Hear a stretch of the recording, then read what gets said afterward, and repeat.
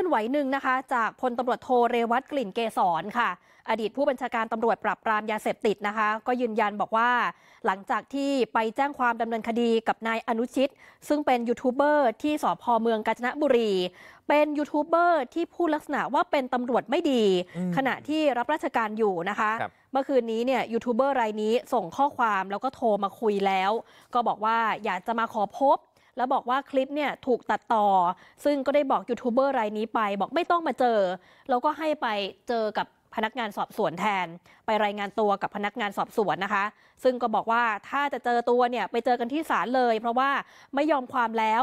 สิ่งที่เกิดขึ้นเห็นว่าเป็นการกระทำที่ไม่เหมาะสมนะคะ เพราะว่าในเมื่อเป็นยูทูบเบอร์ก็ควรพูดความจริง ไม่ใช่พูดจาใส่ร้ายคนอื่น แล้วก็ย้ำนะคะ บอกว่าการฟ้องร้องเนี่ยไม่ได้ต้องการเงิน แต่ต้องการที่จะดำเนินคดีตามกฎหมายค่ะ นอกจากนี้ก็ยังมียูทูบเบอร์อีก 2 คน เป็นผู้ชาย 1 คนหญิง 1 คน ก็ให้ข้อมูลไปนะคะ บอกว่าพูดจาใส่ร้ายป้ายสี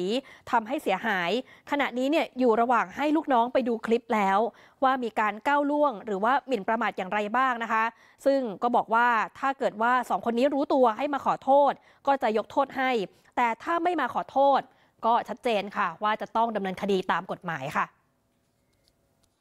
ไม่เอาผมไม่รับคำขอโทษนะอืมเขาส่ง SMS มาจะว่าจะอธิบายว่าคริดเป็นเขา